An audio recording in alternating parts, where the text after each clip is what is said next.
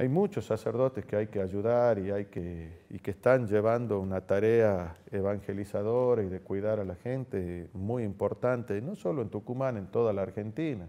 Gente que está en, lugares difíciles y, que son sacerdotes católicos que, que están planteando una lucha frontal contra el flagelo de las drogas. Y son sacerdotes muy valientes y también hay de otras confesiones religiosas que también hay que, hay que mencionarlos, digamos, que hay gente que está llevando adelante. Nosotros le conocimos al Padre Juan, digamos, y, bueno, yo siempre digo que en lo personal es una situación muy, muy triste, digamos, ¿no? Porque eh, muy, muy difícil. Nosotros siempre Hemos dejado todo en manos de la justicia, le hemos dicho que todo lo que esté a nuestro alcance íbamos a ayudar, que la justicia es lo que necesite, nosotros íbamos a ponernos a disposición para que se sepa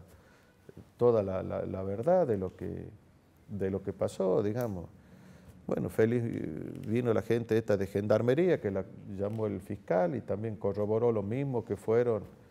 la, todos los estudios que hicieron la gente de los peritos de acá, así que bueno, yo creo que ahí tenemos que seguir eh, trabajando todos, todos nos tenemos que unir, los tres poderes del Estado tenemos que estar juntos porque, y ayudar al, y trabajar juntos también con, con el gobierno nacional.